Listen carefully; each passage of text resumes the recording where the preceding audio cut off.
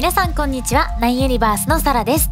今回は11月22日幕張メッセにて開催された東京コミコン2019の中のアニメデルライブについて動画にまとめてみました。アニメデルとはアニメデル TV から来ていましてアニオタ女子たちがひたすらアニメをめでるテレビ番組です。先日私サラもゲストとして出演させていただきました。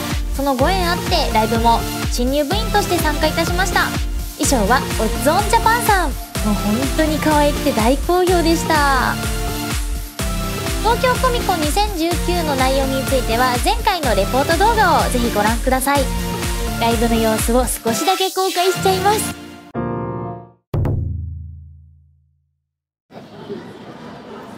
撮れてます。ここは？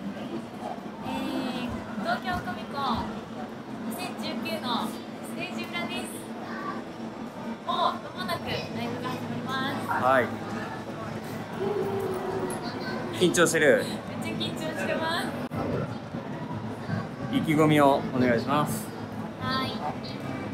えー、なかなかこんな大きいステージに立たせていただけることはないと思うので精一杯。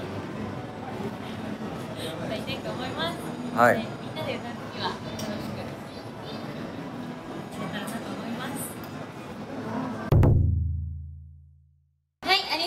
番サラです。よろしくお願いします。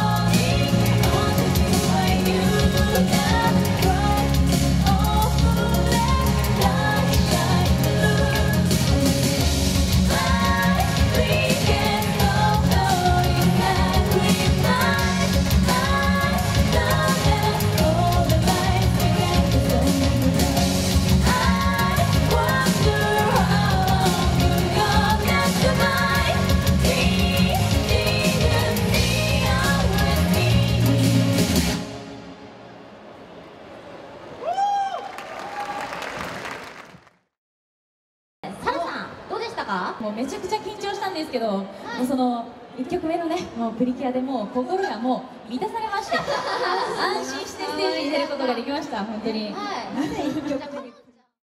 お見せできるのはここまで。短めですが雰囲気を感じ取っていただけましたら嬉しいです。アニメデルのメンバーの皆さんとステージに立つことができて本当に光栄です。12月15日にもアニメデルライブがありますので詳しくは Twitter をチェックしてくださいね最後までご覧いただきありがとうございました。